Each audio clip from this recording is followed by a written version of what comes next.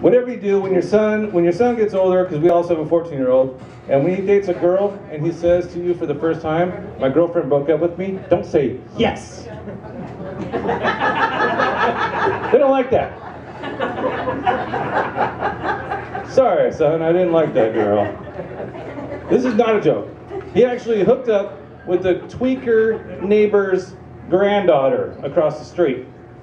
So naturally, we don't like these people because it seems like wherever you go in Bremerton, you have a tweaker neighbor on the block somewhere. You know what I'm saying?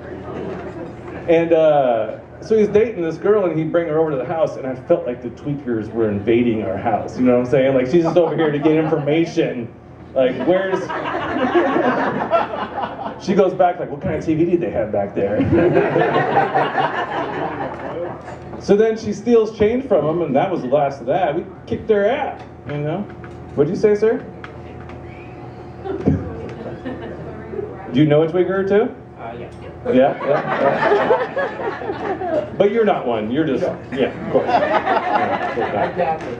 Oh, you're Catholic. That's the reason why you're not a twigger, because you're Catholic? That's the reason? Hey, man, I'm not usually about religion, but if it keeps you from being a tweaker, that's cool. Keep going with that. Keep going with that. Praise the Lord. Praise the Lord. Amen. We're a tweaker-free establishment here. Catholics welcome.